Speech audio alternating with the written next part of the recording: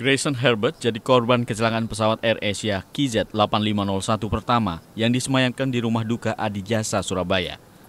Jumat, 2 Januari 2015. Sejumlah persiapan menyambut kedatangan jenazah korban Air Asia rute Surabaya Singapura yang jatuh di Selat Karimata sudah dilakukan rumah persemayaman di Jalan Demak, Surabaya ini.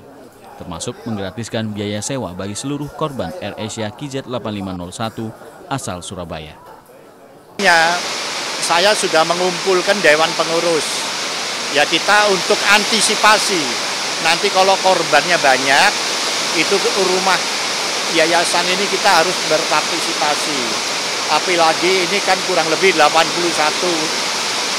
uh, orang warga kota Surabaya. Yang mana itu nanti kalau tempat di Surabaya ini tidak ada persemayanan yang kayak di Adiyasa ini. Menurut Jono, rumah persemayaman yang ia klaim terbesar se-Asia Tenggara ini bahkan siap menampung seluruh korban Air Asia jika diperlukan.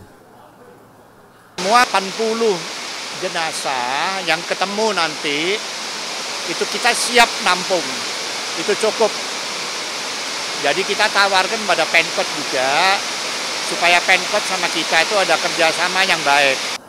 81 warga kota Surabaya menjadi korban dalam kecelakaan pesawat Air Asia KJ-8501 yang nahas dalam perjalanannya menuju Singapura minggu pagi 28 Desember 2014 lalu.